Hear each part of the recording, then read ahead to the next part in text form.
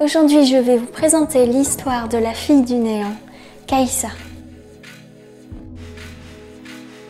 Ce qu'il y a sans doute de plus remarquable chez cette intrépide chasseuse du néant nommée Kaïsa, c'est l'absolue banalité de ses origines. Elle ne descendait pas de guerriers tribaux endurcis par des générations de conflits, pas plus qu'elle n'avait été invoquée depuis une terre lointaine pour affronter la menace indicible qui se tapissait sous Shurima. Non, elle n'était qu'une petite fille ordinaire, née de parents aimants qui résidaient dans les impitoyables déserts du Sud. C'est là qu'elle passait ses journées à jouer avec ses amis et ses nuits à rêver de la place qu'elle occupait dans ce monde.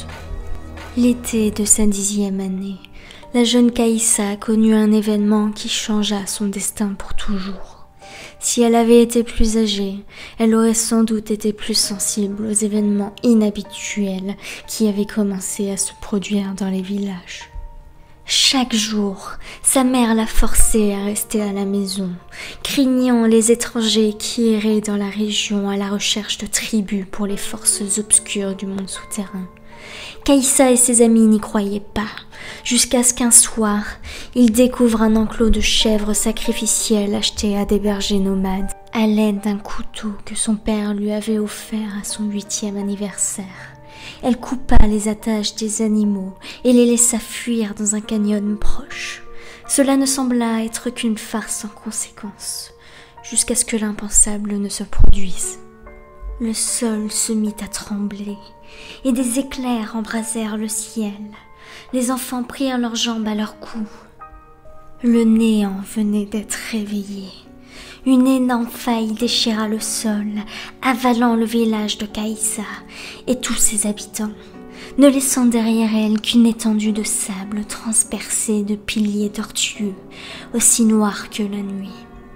Lorsqu'elle reprit connaissance, Kaïsa se trouvait prisonnière du monde souterrain. Elle était paralysée par la peur, mais un espoir subsistait encore. Elle percevait les faibles cris d'autres survivants. Ils tentaient tant bien que mal de s'appeler les uns les autres, en répétant leur nom comme une incantation, mais au bout du troisième jour, il ne restait plus que sa voix. Ses amis et sa famille avaient tous péri elle se retrouva seule dans l'obscurité. Alors qu'elle pensait que tout était perdu, elle vit la lumière.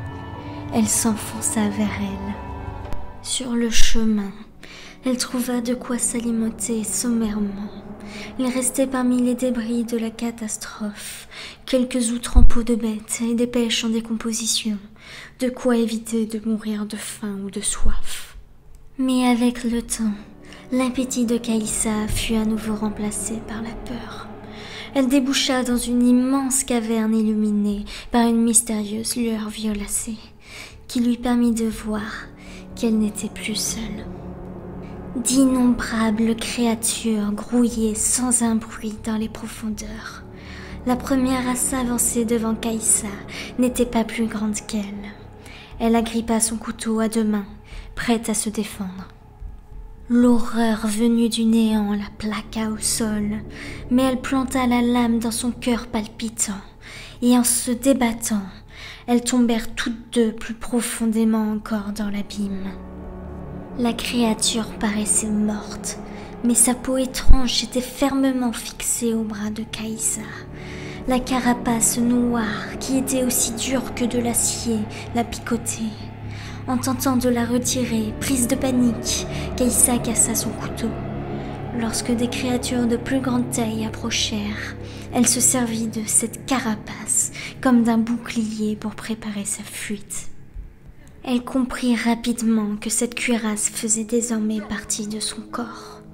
Alors que la survie d'un jour se transforma en un défi de plusieurs années, cette seconde peau grandit en même temps qu'elle, tout autant que sa détermination.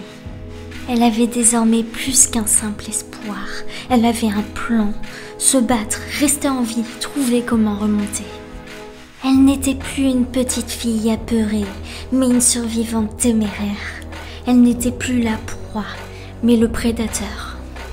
Depuis presque dix ans, Elle vit entre deux mondes dans l'espoir de les maintenir à distance l'un de l'autre.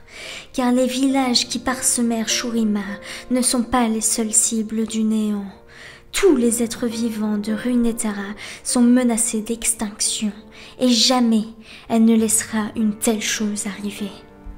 Bien qu'elle ait terrassé d'innombrables créatures du néant, elle sait que beaucoup de ceux qu'elle protège la voient elle aussi comme un monstre.